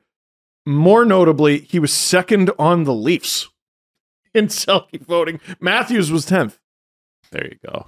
because he played center and had 60 goals. Yeah, And I mean, was legitimately a good. He worked on Defensive that part of his game. Yeah, He's, and what's funny is he's going to get way fewer this year because he doesn't have the same goal scoring. I think he's a better defensive player. I don't know what the numbers say. I'd like to see that. Um, but the effort is clearly there. He's involved in. It seems like he's involved in more puck battles. It Mhm. Seems like he's winning them more. okay. Now, Connor Brown, by the way, won first place Selke. No, no, one second place Selke trophy vote last year. or what year is this? Uh, uh, uh, uh, yeah, 2020, 2021. So two years ago, Connor Brown, when he played for Ottawa, got a second place Selke Trophy vote. Well, that would be an Ottawa writer. Uh, we can find who did that. I think. I don't. We don't need. Do a we need to do No, yeah, we do. No, I don't. No, even yeah, you're right. You're right. Second Um, place All right, I got some. Holy uh, shit. Yeah, that's rough. Okay, Right winger, Yeah. Ottawa Senator, Definitely. Connor Brown. for sure, man. all right, all right, all right.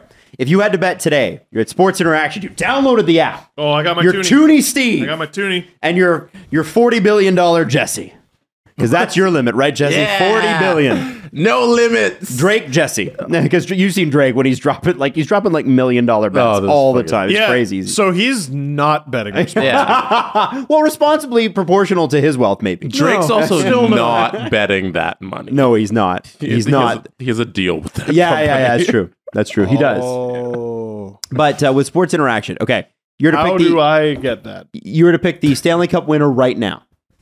Oh, pick it right now, and I'll give you the odds. But you got to tell me a team. Tell me a team first, and I'll tell you your odds. This is easy. Yeah, I don't think you overthink it. I think you pick the team that hasn't lost. Boston. What? Yeah, Linus Ullmark with 22 one and two is his record, and he's got like a 160 something save Goofy. percentage. Goofy. Goofy. Stupid. You would get still six times your money what? if they win. Toonie! They haven't Yeah. lost yet. Toonie. Uh, the Avalanche. Twelve bucks. I'm gonna get you a toonie. Y- Yeah. With your face Get on a it. two- yeah. Like a giant one. That you can throw down every time. Steve. Oh, I love that. It's like, Steve, who you dropping the tuning on? Well, Wham! Oh, sorry, sorry, subwoofer forgot. guy. Um, Colorado is second and the odds. They'll do eight times your money. Vegas, Second? yeah, What? They're not I in the know. playoff spot. I know. That's what I found found so surprising. Out of the playoffs! Vegas at eight and a uh, eight seven five times your money, and then Toronto at nine eighteen, Carolina at nine four two, and Dallas at fourteen. Oh, that's a good value pick. Now, Dallas. I want to ask you this one because I think this is the most interesting one of the list. So I'm jumping to it next. It's not next on the list, but I'm doing it. Who do you give the Jack Adams Trophy to now, halfway through the season? The guy who might set the all-time wins record. Yeah. like again, uh, I don't think you overthink it, man. Uh, Jim Montgomery with the Bruins. Yeah, Rick Bowness is in the conversation. I think Keefe should be fucking somewhere in the conversation. What about- for God's sake? What about New Jersey Devils head coach Lindy Fire Lindy Ruff? yeah, stock dropping? Well, there he's you know He what might get he's, a nom. he's second. He's second in the in the uh, odds right now. Tied with Rick Bowness. Both of them are nine and a half times your money. Jim Montgomery three point eight six. Not bad. Like I, uh, to me, Jim Montgomery is a lock. So it's like you lock that bet in right now. Everything. eh, If you have an option to bet on Boston, I suggest you do it. Okay, I'm gonna do it right like now. that. There you go. Are you sure? Who Okay, are they now playing next game? Oh, you mean for the cup? Yeah, yeah. For uh, Oh, you're for a all bad these, fan. so two more. Boo, It's not the cup for the the um Jack Adams. Jack Adams. Two more going into the second half of the year. Okay. Mm. And remember, keep in mind the second half could be completely different just for the fact that certain teams are going to go fuck it, Connor Bedard. Right? They're going to trade everything that doesn't move, which means it'll be like um, uh, Power Rangers when like Megazord puts himself together and like adds a whole bunch of extra shit. You know, um, The good teams will get a lot better. The bad teams will get a lot worse. Eastern Conference outright, I think you bet on the Bruins, which is still four times your money. But Carolina's five and Toronto six. Carolina's a real good team. They got Max Carolina is- Pacioretty back I, and he scored. twice. He's amazing. Amazing Dude. player. How do you just? And he's pissed too. You I- know he's pissed. They had a fourth line. Uh, I forget who the right winger was, but Patches was on the left with uh, Kotkaniemi in the Oh. middle. Damn. Former Habs line. Love that. that. Just dangerous. Uh, second. So it's interesting. Where do the Colorado Avalanche sit right now in the standings, guys? Like in the whole league. They're one spot. They're ninth in the conference Ninth in in the the- West. so they're Yeah. they're one spot out of that second wild. So card I spot. think you'll find this funny. Sports Interaction has them as the lock to win what? the Western Conference outright, four times your money if you get it. So, I am. so if you're not betting Colorado, who are you betting? well, I'm t- taking my toonie and bringing it elsewhere. Um, I whoa, I do like Dallas. And I do like Vegas. So Dallas is eight times your money. Vegas is four and a half times. Oh, I'd throw that toonie on Dallas then. Do you? Yeah. I want to trust Logan Thompson. Oh, it's nothing I don't against blame- him. Yeah. You know, it's not. He's it- great. it's just that you. It's like Oettinger is like the first time when he was good. You're like, is it for real or is it a flash in the pan? Two really, Is this Brodeur or is it Peter Ing? two really good teams who are such wild cards because they seem to face so many injuries. Like Vegas Mm. and Dallas, like Mhm. they when they face injuries, like no one's ever out for a game. No one's ever like, "Oh, uh, yeah, I'm having a rest day." It's like, "No, I'm out 14 months." My pick would be Vegas. to go Vegas? to the finals out of the West. Yeah. Okay. Okay. No, no. That, that's just that's just to win the West. Oh, to win the Just ti- to win oh. the West. Yeah, yeah. No, I pick Vegas then. Pick Vegas. Yeah. Now I want to ask you guys this. Um, over the last 41 games, we're going to play the word association game. Okay. Mhm. What words would you associate with the Toronto Maple Leafs season thus far? What words come to mind? Injuries. Mm. Injuries. Mm. What else we got? Perseverance. Okay. Streak. Okay. Mitch. Three. Oh. Structure. What's the structure thing? The, where they they're they're boa constrictors and they, they don't blow leads like they used to. They they wrap you up. Okay. But give you a big hug that you're not necessarily asking Yeah, and it kills you, and then they eat you alive.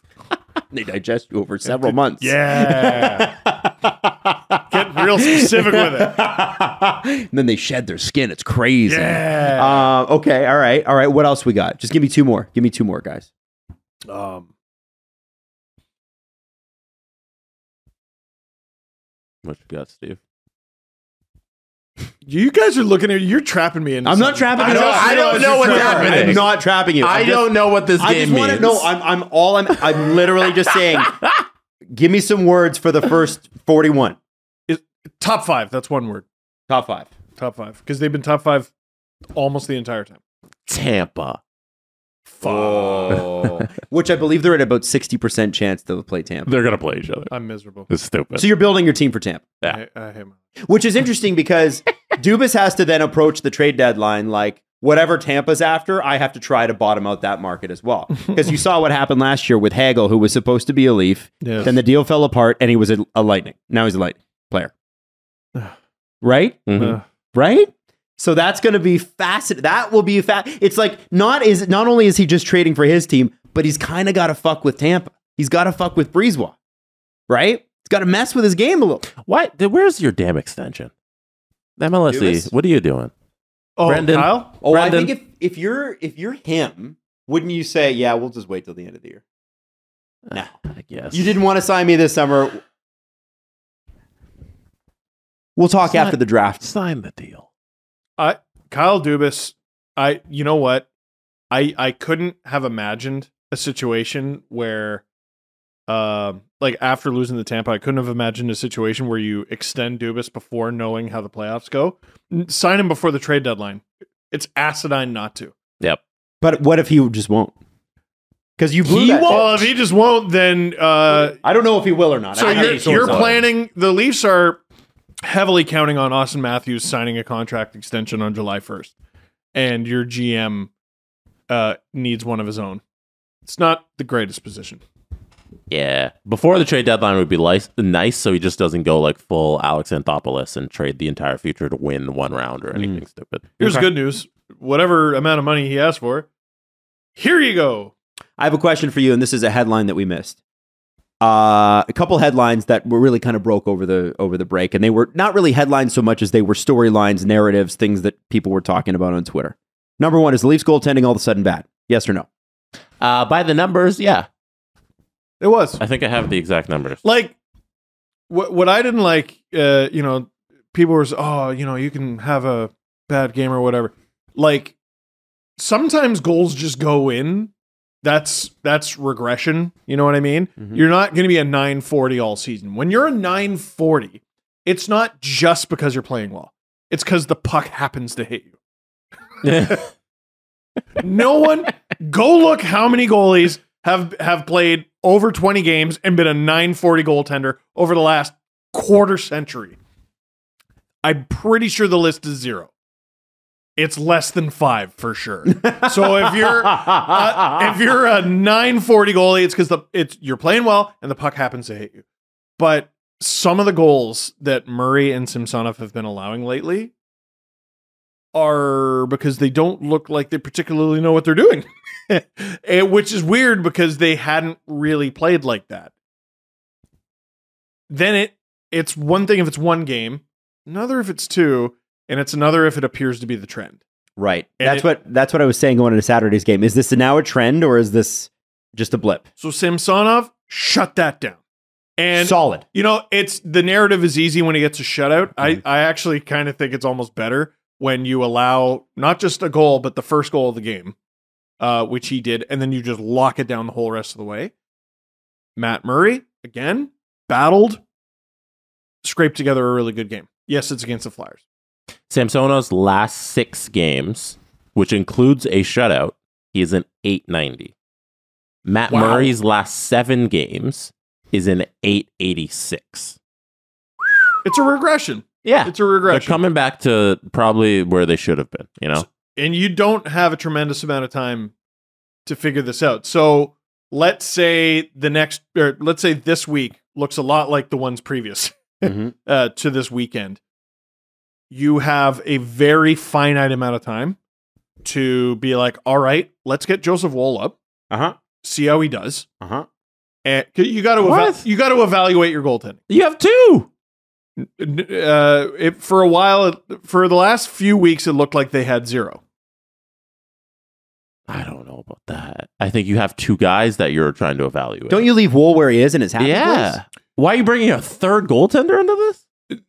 It's And See, it's Adam, Shog- I Källgren, agree I guess, that. is not ahead of Woll anymore. No, he no. hasn't been very good. Right. He hasn't been very good. I don't think you're bringing a third goaltender into the mix until there's an injury. well, because if you then get to the trade deadline and they're still in their rut, and this is just what they are, they're sub 900 goaltending, which is what they've been recently, mm-hmm. you have to go out and get a goalie. That's the only reason I was saying call up Woll. I'm not saying do it right now, Mhm. but if you're going to spend the assets on goaltending when you for the last few months have wanted to spend those assets elsewhere, you got to see what you got. Hmm. If you don't need to go out and get anything because Woll's ready and awesome, you need to know the yes or no there. And here's the great thing with Joseph Woll. He signed to less than 800 grand this year and next year and the year after. Waivers? Who's going to hit waivers? No, Joseph Woll. Can you clear? Up and down? Oh, yeah, no, no, no. Yeah, he's That's good, not a okay. concern. Yeah, he'll be okay. Yeah, He'll be then, okay. like, yeah.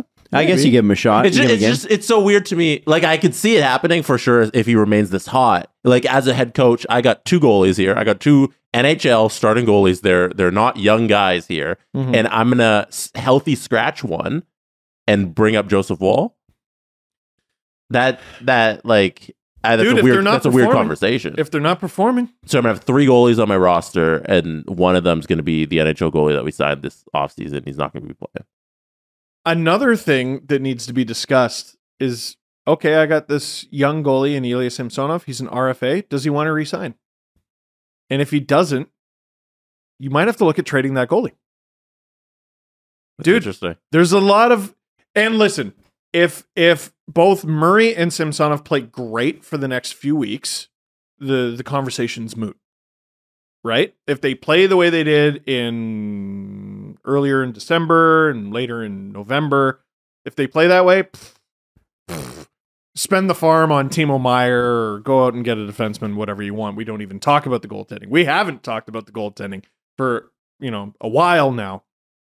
But if they continue to give you sub 900, you learn from your mistake last year and you go out and you get something. is the other headline that was narrative, whatever you want to call it. Is Morgan Rielly bad at hockey, bad for the organization, and should he be shot into a cannon? Shot out of a cannon and to another team. What has the storyline been with the Leafs defense this season? Uh, how they've plugged the gap despite all the injuries. Despite is the operative word there because they used a wide variety of guys on defense and it worked. Your reaction to that was Trade Morgan Rielly because it worked. Yeah, no, no, how about Oh, how did it make you feel? Like what emotion did it give you? Surprise. Surprise. You know why? Happiness. You're not supposed to do that. Hmm. It's not it's not supposed to work that way. And when guys came into the lineup, they were great. You know how I reacted to that? Surprised. That's not how it's supposed to go. Whenever a guy has a long layoff and then returns to the lineup and scores that game, it's surprising. That's not how it's supposed to go. Hey, did you just go back to school after a layoff or uh some of the teachers out there? Oh, there was some moaning in the dangle house. I'm sure there was. Did, are, yeah, Nobody you, likes going back after break. yeah, you went back for the first time in a couple of weeks. What? How you doing today? Crisp? You crisp? Yet your best? Right? Mm-hmm. You're not supposed to be. So when Morgan Rielly came back and did not look good, I wasn't surprised. I was concerned. Over the last few games, I think he's gotten it back a little bit. Mhm. I think it was difficult for him to get into his groove because he wasn't in his usual spot Mm-hmm. on the power play. And, you know, depending on how the special teams go, now it's difficult to, you know, I'm trying to get my feet under me and my feet are on the bench. It's not a recipe for success. Listen, uh, if you actually think Morgan Rielly is hurting your team, you got to explore that trade conversation too. but I don't think they think that. Okay. Can Joseph Woll play in Morgan Rielly's spot? Absolutely. Let's do it. Uh, what did you think? Uh, 100%. Uh, switching gears, what did you think of John Tortorella's comments after Travis Konecny was quote unquote snubbed from the All Star game? Well, oh, so what did he say? All- 'Cause I, can actually say, yeah. I can send this to you. Do you want me to send it to you? Yeah, yeah. This is from uh, Sam Chikar, uh, yeah, Carchidi from uh, uh, who's been a Philadelphia reporter forever and ever. Amen. Mhm. Uh, Jesse, I'm going to send you that on text right now. There you go. So essentially, I think Kevin Hayes is going to the All Star game, which is kind of cool. Yes. and that's amazing given what happened. And, yes. you know, with the family and that sort of thing. It's it's a it's it's a it's an awesome thing. But And top scorer. yeah, and a lot of people thought Konecny should go too. Sure. And uh, I believe, if I'm not mistaken, I Go think, instead go instead because yeah. they're going to have one representative. Oh, right. Yeah. Uh, now, from what I understand too, uh, uh, like I know Torts doesn't care about anything at all. He's always, you know, Mister I don't give a shit. But I just thought this was a particularly passionate John Tortorella quote. I wanted to play. I'm glad we have the video and audio. It's always different in print. Absolutely. He does not read well. well, he doesn't. Uh, this one wouldn't read or sound well. Oh, interesting. Have a okay. listen. Okay. It, it, it's a it's a tough league to win it, no matter who you play. Uh, so we're we're certainly not going to uh, uh, go in the back door and say that because it's against weaker opponents. I, I think our game is has grown as a team. John, TK has been arguably your most consistent player all year long. Are you disappointed that he didn't uh, make the All Star team tonight? They announced the Oh, I don't worry about that shit. The, the, the, the way they all, the whole game, the whole weekend, it, it, I don't even watch it. I, I think it's it's turned into a. Well, I'll just leave it at that. I really don't care. Do you think that he's deserving uh, of I All-Star? really don't care. Talk about all star stuff, okay? It, it, it, it's a. That's So that's an NHL head coach saying, "I don't give a shit about an NHL event." if I'm Gary, I'm not happy. Gary's not going to be thrilled Like, about that. Torts, Torts was the kind. Like, listen, if it, Gary's got some say in who's on the air, Torts was on the air last year. Mm-hmm. Gary's got some say in who's coaching, who's GMing. We know this from Brian Burke's book, and he Torts Yeah. Is now a coach. I mean, I think this hurts the NHL way less than saying Trevor Zegras shouldn't be doing fun things. Yeah. Okay. You know what I mean? Yeah. Like that's the direction that it goes or that that the league is going. Uh, you know, it's not great that he's like, yeah, I don't give a shit about the All-Star game. I mean, in a way it it solidifies I mean, the brand of one of the bigger personalities in the sport. Right. As oh, there's torts being torts. I th- I think the bigger issue here is like him just flippantly blowing off the like. This is a layup. Like just compliment Travis Konecny. It's a, it's a Or Kevin Hayes. or Kevin Hayes or it's it's a layup. And Torts is a is an ornery guy and he pushes buttons and all we've heard over his career like I've I've heard from many people is for how difficult of a coach he is to play for guys like playing for him. He, he sounds to some degree behind the scenes anyway, like a player's coach. They like playing for him. The Flyers sound like they hate playing for John Tortorella. you think so? oh, well, the the Kevin Hayes quote, and then uh, Yandle on the air uh, de- defending Hayes. I think benching Hayes went over like a wet fart, and I I understood the intention behind it. No one's safe, and you watched the Flyers last night. No one should be safe. They suck. They're not a good team, not a well constructed team. The GM sucks, but you know he did go out and get this guy who's basically uh, over from Mitch and Murray on a mission of mercy because he's trying to find out who on that team can hang. Um, He benched DeAngelo last night too, which is one of the guys it. that they went out and got this summer to Yeah. try to get better. who cares? He's shocking. Like, there's another guy who can put up all sorts of points, shocking in his own end. And you can be sure when a guy does get benched, it's because they did something Torts expressly told them not to do. Right? So, uh, yeah, I guess I am defending him in that regard. But at some point, Torts, who is a free man, and bless him for living his life as free as possible, you do gotta play the game a little bit. You do gotta stroke egos a little bit. I don't know if Kevin Hayes gives a shit. I don't know if Travis Konecny gives a shit. And if neither of them give a shit, then none of this matters. But that is what we refer to as a layup. Like for all the all the shit the media gets uh, from players and coaches because the media is out to get you. The media gives you so many softballs. That's a softball. That is an olive branch extended to you, John, to calm things down, to make things easier, to put a smile on people's faces, put a smile on the players' faces, on the on the fans' faces. And yeah, you're right. It hasn't been the easiest season, but Konecny has been great. And you know what? Even d- d- despite the fact that things haven't been going well, Hayes has been great. And despite all of this, we could have two guys going. Nope, you just say I don't give a shit and walk off. And I don't watch. and I don't watch. Thanks, grandpa. like that's how you come across, right? hmm And he's not one of the older coaches in the league, but that's how you you that's how you come across. I know he doesn't care what I think, but if your players do not like you and do not want to play for you, that can have adverse effects on your organization. Which is maybe the best thing for the Philadelphia Flyers because Connor Bedard Yeah, is available in this draft. So maybe John Tortorella is stupid like a fox.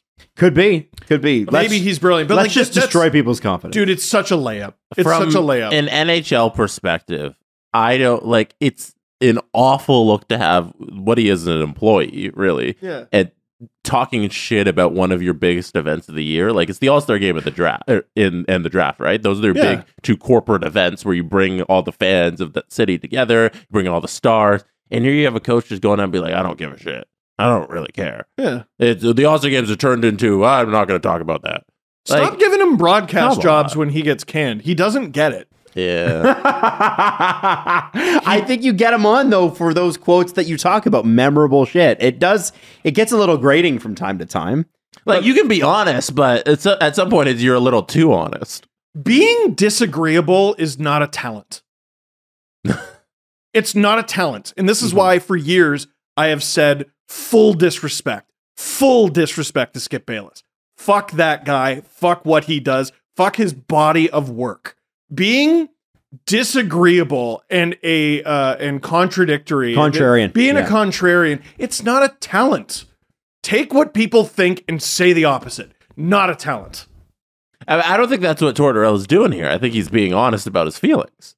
Yes. I think he's being extremely honest at a point where it's Which too we honest. asked No, for. so we Skip- asked for that. yeah, so Skip Bayless does it in a way that I don't think is genuine. So Yeah. fuck that guy, uh, for a variety of reasons. Wh- But when Torts just goes, uh, Trevor Zegras, uh, you know, shouldn't be doing fun things because I don't think it's great for the sport or whatever.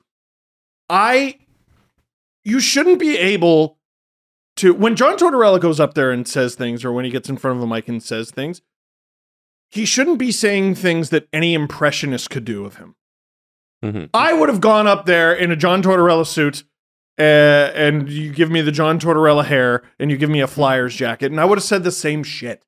But he's that's I don't. those ah, are his the. All Star game. Those are his feelings. Yeah, his feelings suck, and I don't want to hear him.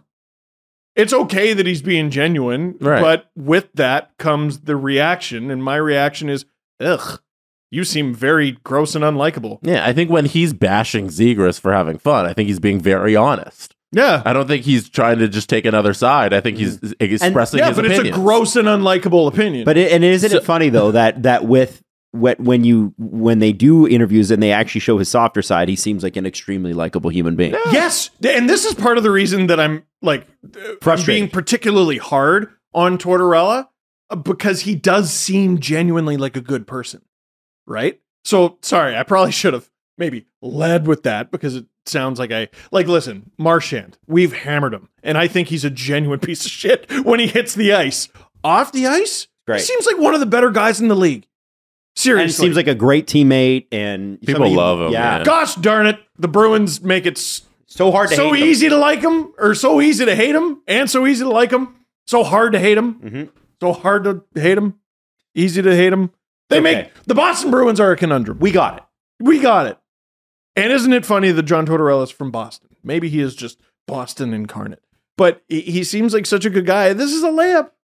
It's a layup, John. This is an olive branch from those evil media who you've worked for and with and apparently never listened to ever once If in he's any on- conversation. if he's on TNT, he doesn't say that. yes, he does. Oh, I think he does. He Oh, absolutely yeah? does. Don't you think? No, if he's if he's on the broadcast, If they have the rights, like if ESPN has, he was on. Yeah. Was he on TNT or ESPN? I it doesn't matter. ESPN, But let's say it's ESPN and they've, got- Yeah. they've got the rights to that game, and the All Star Yeah. game's coming up in six weeks. And Tor- Torch goes on. that. I don't watch this shit. Yeah. How do you think that goes That's- over? it's, not, it's not happening. and also, but there's nothing to it. Like you Yeah. can say, you can get up there as John Tortorella and be a caricature of yourself. I don't care about that. I've been to the All Star game before. I don't know if he has. I think he has. He, he must have. He's been in the co- in, in the year in the league for friggin' ever. Um, but ah, the weekend's a pain in the ass, and you got to find a hotel, and and uh, you know I I'm this amazing coach. That's why I'm in the All Star game, and my reward is I got to coach more. Bah humbug! I don't want to do that. If he can at least make it funny, but this is just him going, ah, I don't give a shit, Yeah. and literally walking away. He doesn't have that skill. Like, uh, like when have we- when have we ever seen him joke like that? I guess I guess what I'm trying to kill is the myth that Tortorella is a good quote anymore. Hmm. He's not. Hmm. Interesting. He's not. Okay. What makes a good quote? depth, anything interesting at all. Um, you know, maybe I, I we are gonna get comments like, "Well, he's he's making you talk about him." Like I'm talking about, And that's this- true. That is that would be true. I'm talking about this in depth because I have a podcast and I'm being like a media critic right now. But I think most people just heard that quote and they were like, "Oh, okay, Mm. oh, ew." I'll be honest. Like I don't always love the All Star game. I do find it kind of flat. Oh, he's not saying anything that we haven't said before. Is it the way he said it? Yes, it is. Okay. Yeah. Just dismissive tone. and shitty. Okay. Okay. Okay. Dismissive and shitty is a very that is an apt description. Interesting. Yeah, just- okay. you know what? I didn't see this conversation going this way. Sometimes when I bring stuff up and I like throw it to Jesse and Steve, I don't I don't think about where it's going to go. I just know it'll go somewhere. I did not see this going this way. I did not see your reaction as this way. That is a borderline the reporter works for the team level of ease. Uh Travis Konecny here's some of the things he does great. Mhm. Uh Kevin Hayes, what a story. The guys love him. And you know, we haven't always seen eye to eye, but this, but that, but that. No. And like, listen, it's not my job to do this or do that. Is no, but you put this out there maybe Kevin Hayes hears about it and it makes him feel good. Maybe it doesn't. I don't know. Maybe it makes the other guys in the team feel good. Maybe makes his family feel good because they see it. Because a lot of family members of a lot of players in this league cannot help but consume the media uh, about their uh, family member, good or bad. Same thing goes for Konecny. This is it's PR, man. Like this is people management. And for God's sake, you've been in this business for so long. I would have thought you had some of those skills. Mhm. It's just it just it's a failed opportunity from John Tortorella. There it is. And like the the All Star Game thing, like we all agree that the All Star Game is for the people who are there. You know, Yes, it's never yeah, been the greatest event for on on on screen on television. It's probably not even the greatest event, even when you're there. When you when all the events are happening and they're taking 20 minute breaks in between to set things up. But that doesn't mean you can't use that moment as an opportunity to hype up to your your players. It's the verbal equivalent of missing an empty net. You didn't have to. Yeah. Let's do the press conference. You think you know which way it's going to go? Do you? No, No? I, I'm generally very confused. Okay, well, if you do ever figure yourself out, you should check out Sports Interaction and make your bet, whatever your sport. Sports Interaction has you covered. When do they have you covered, though? They have you covered on their new app. Oh, that I am holding in my hand right now. I'm looking at a bet. I don't know, Matty Beniers and Jim Montgomery throwing them to win the Jack Adams and Calder. Whoa! Pre-game, live betting on all major sports, and prop bets like Jesse just pointed out. Check it out. If you want to bet, head to sportsinteraction.com slash SDPN, or you download the app in the App Store. Super easy. Uh, 19 plus. Please play responsibly, like Toonie Steve. The Presser. SDP. The Steve Dangle Press Conference. All right. Back at it. 2023. Mm-hmm. How long are you allowed to do the thing where you write the wrong date on whatever you're writing? I think you get a month. October. You get time? You're You giving get them a month? Yeah, give him a month. October. Not a Christmas tree, though. Fuck that. Not a fucking Christmas tree. I, I'm I married. Get it. Get rid of it. I married my co-host. All right. That's why we worked out so long. Maybe. Synonym, synonym, Synonym? synonym. Synonym. Synonym? yeah, but they spelled it funny. But with synonym. Synonym. I knew who you were talking about right away. Synonym for wet. Uh, get, wants to give us the heads up that the Bachelor is coming back in about two weeks. Oh, let's go. Oh, ba- So bios time, baby. Bios like that. Oh. Okay, Jesse, we'll wait for you to bring those to the show. Just let me know. Bi- Bachelor bios are my. You're bringing them, right? Yeah, You yeah, I, I can bios. prepare all that. Okay. yeah, I'll do that. That'll be fun. Oh, uh, this one's from. By the way, our our social media team tweeted out a thing uh, for questions. I'm just reading from the tweets Mm-hmm. here. Kevin Pope want us uh, asked us as a Brit, I don't understand why the All Star Game is talked about so much. Why is it that? Sorry about that. Why is it that makes it so popular across the pond? What is it that makes it so popular? Am I the only person who would scra- scrap it and carry on with the competitive game? No, I think I, I don't think you are. Torts obviously would. Um, I think it's a good break for uh, the players who aren't there, which is the majority of the players. So they have a breather and they get a mental break and they they go and they go to like Hawaii or whatever wherever they want to go Yeah. for a few days. But um, uh, I understand not getting the All Star game for sure.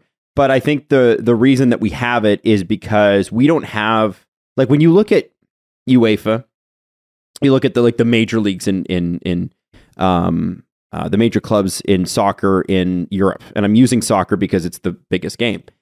Uh, they all play each other, and then there's national team stuff. So you see different versions of all star teams go head to head all the time, right? You sort of see like you know if it, team in England is well, it's the best of England, Italy, Portugal, they're all the best of those players. You see them play together, so that's essentially an all star team, right? Um, we don't get that because because Gary Bettman and Bill Daly are like, nah, World Cup suck. Who who needs the Olympics? Um, so the best that we get is a game that means nothing. That's kind of a fart in a windstorm. But when you're there, it's fun.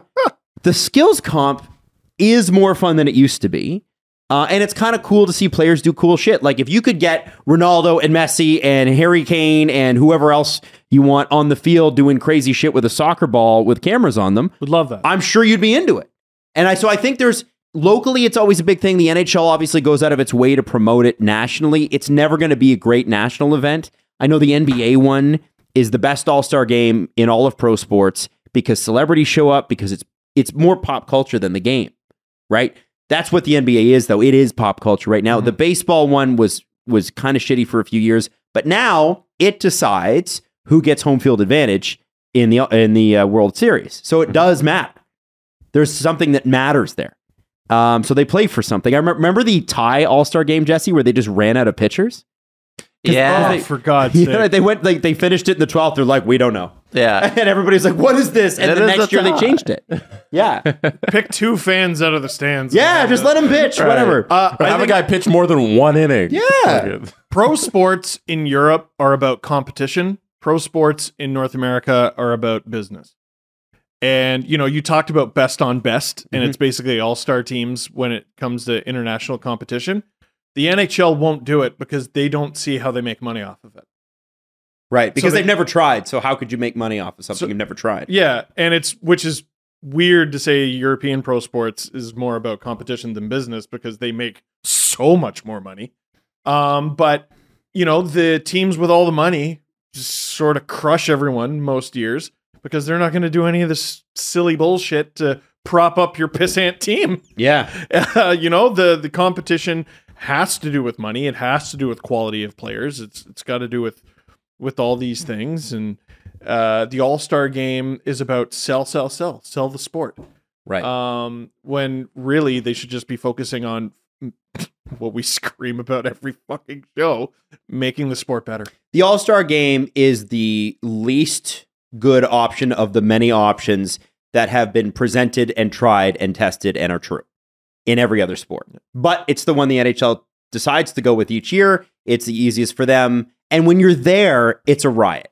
It's great Yes. for the media. The players, well, the players are always super hungover for it, so I'm sure they have a good time. Yeah. And the fans who are there, I remember the Toronto All Star game in 2000. It was amazing. Mm-hmm. Y- Like people say, well, the All Star game is fun. You know what's fun? Games. Games are fun. Games are fun. I've heard that. Make the games better. I've never been at a Leaf game and been like, I wish this was the All Star game. Wouldn't it be great to see less Leafs and more players from other Eastern Oh, Conference man. teams? oh fuck! You know what would make this better? Two guys from Columbus. Like, yeah. stop. Yeah. Stop. No. Yes, the All Star game sells the game, Mhm. maybe locally or whatever. But dude, just make the game better. Agreed. Agreed. Make Next, what? What? Having an awesome All Star game is really going to take you to the next level. Stop. next question. Make the game better. So I got this question a couple weeks ago. Or You okay? Adam, your internet's not working. I We're good. know, I know. We're good. So, Stupid. uh. Anyway, you get that fixed. I got this a couple weeks ago, and it was before. It was after we had already recorded our all trivia episode, so I didn't get a chance to do it. It was from plain Emma Jane on Twitter. Emma tweeted, "I want to play a game where two people go back and forth naming point per game players, and the first one to get one wrong loses." And then Emma tagged me and said, "Jesse, make this happen." And I want to make this happen. Okay. So Is this all time? no, this season. How many are there? Uh, I'm giving you the option to name anybody who's point a game.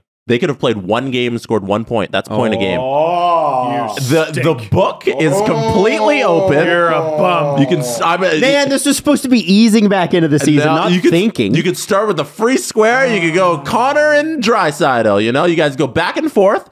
First person to name a player who's not point a game, meaning their point total does not equal their games played at least, then they lose the game. You stink. okay.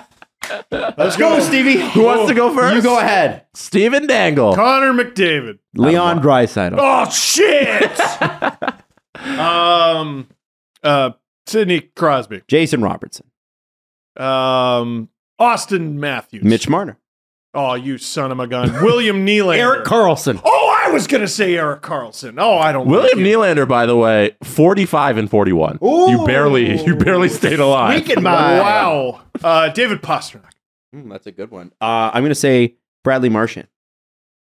Let me let me check. Because Oh, that's interesting. a He risk. hasn't I don't played- know. he- I was actually that was going to be my next. one. Marshy, thirty-two games played, thirty-seven points. Boy! All right, all right, Steve, you're up. Woo! um, who's? You're already you guys are like five in, and I know. I'm exhausted. I'm exhausted. Elias Pettersson. Ooh. Picks a Canuck. Elias, He's good though. I know. 37, 47. He's good. Okay, I was like, whoa. Man, he's having a good year. Good for him. Adam? My- okay. With all that turmoil. Um, Easy. William Nylander.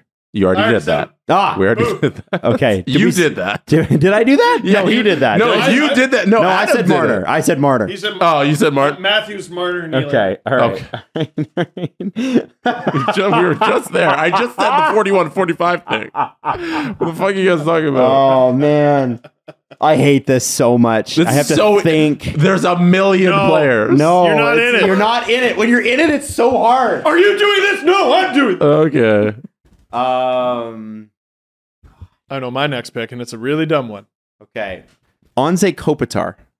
Ooh, That's so- I don't think you got Of that one. all the Risky players, bisky.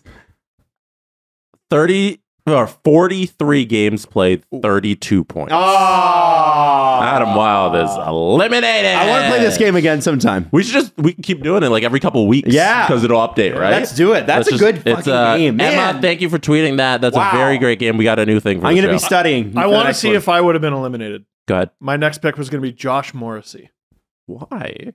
because he's like the second highest scoring defenseman behind Carl. Yeah, he's 40 and 46. yeah. Show four- your face. But like Kaprizov, Oh, Ovechkin. oh shit! What do you Why got? do we keep forgetting him? Tage Thompson. Oh! he almost has as many goals as games. I hate it. I hate it so You know much. what's funny? My brain went there's someone on the Sabres, and my and I go, Tuck, Tuck, is it Tuck?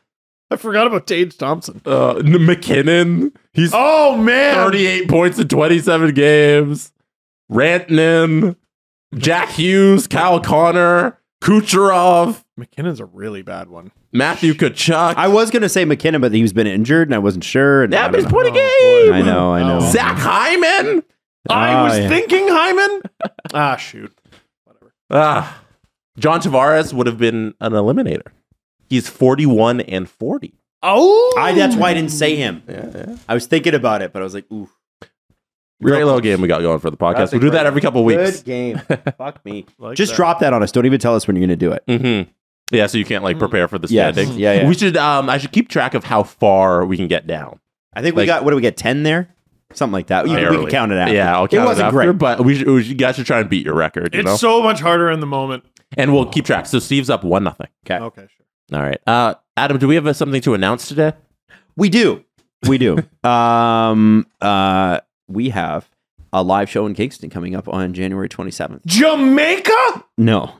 No. Oh. Kingston, Ontario. Oh, cool. Um, so Which we'll, you spoiled on our last episode. was that bad? Should I not have done You're that? an idiot. Yeah. I don't know. If you want to come see us in Kingston, uh, it's right between Toronto and uh, uh, uh, Ottawa. And what I thought was cool about it is that this was the show we were supposed to do on April the 4th, 2020. Um, but of course, we couldn't do it. We promised we'd be back. We're going back. So Friday night, the 27th, that's actually the one weekend where there is no Saturday night game. So Steve will actually have uh, a Saturday night off to himself, which would be nice for you. Um, but I'm, I'm really looking forward to this. And, and It's obviously, Friday, isn't it? it is a Friday. I know, but I was just Oh, saying no, it's the, it's a non. Leafs weekend. And what's great about that weekend is the it, that Friday night is we're going to do our show a little bit. Uh, we do like a little show, and then we're gonna watch the Leafs and Sens play because it's Leafs and Sens Yeah. on a Friday night, baby. Maybe we can watch uh, watch Hockey Night in Canada with Grav because they we specifically picked that because I'm like, oh, there's no game on Saturday, so I'll have the night off. And then I got the updated schedule, and they're like, oh yeah, no, we're doing the stream that Friday. Well- and I said I'm not going to be there.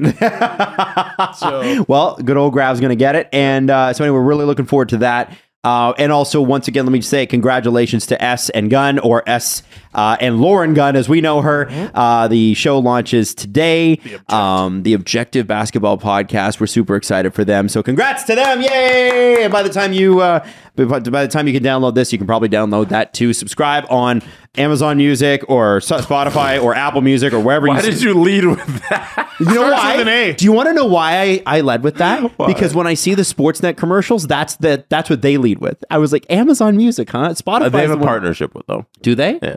Let's pay. do we? Oh, we don't. We do. All right, let's wrap Can it I up. ask one last question? Oh, okay. Let's not This wrap it up. from at only sky above me. They write, "This has been bugging me for years. Is there beef between the SDP and the Arkells? no. no, Why? Why are the No. Arkells taking shots No, at us? We, bring up the Arkells quite a bit. well, because the Arkells Whenever- are on everything. yeah, we make snide we, we comments make we that bring up stuff. about The Arkells bring themselves up all the time. What other big Canadian function do they play? They're on Hockey Night more than Ron MacLean. Absolutely. man. Like, but Is it the CFL CFL halftime show? Bring out the No. It's the Arkells. oh wait, did they do it? Every, Yes. every Grey Cup halftime Yes, show. they did. It's Yeah. the Arkells. It's a little bit like you know the South Park thing where uh uh they have Slash as Santa Claus, Vonderslush. Yeah, that is a really deep reference. They I don't know. They're I like I'm convinced there's it's like the Stanley Cup. That there's the original Arkells, Mm-hmm. and then they have another Arkells that goes and does other things when the original Arkells are busy. It's like Blippi Yeah, as well. How there's a fake Blippi, and then also Meekah. It's a whole franchise. right. Um, no, I have zero problem with the No, Arkells. they're they're Yeah, great. but you I, I met and interviewed them. They're wonderful, wonderful yeah. people. No, They're it's just just like, oh yeah, for the the Grey Cup halftime show, we had is it the Arkells? like you could just guess. I uh, uh, uh, Nothing wrong with them. Nothing, wrong, with them, but we are going to make those shots for sure. Like, Yeah. and I'm sure they're they're laughing about it too. And by the way, all we're doing is laughing about them being successful. Yeah. yeah. So I'm I'm happy for that. LMAO, you do lots of shows. hey, you're a band that a lot of people like. Oh, what a bunch of losers. LMAO. Anyway, we hope that you have a fantastic, uh, fantastic first. We'll be back Wednesday. Yes. Don't forget there's a CJ show. Don't forget there's an objective basketball pod. And when you're done listening to both of those, you go on Spotify, you listen to the Arkells. That's right. Whole everything. Leather Jacket. That's the song you want to listen to if you want to get in the Arkells. Just saying. The Steve Dangle Podcast. Powered by Sports Interaction, Canada's Sportsbook. Follow the guys on Twitter at Steve underscore Dangle, at Adam W Y L D E, and at Jesse Blake. Connection complete.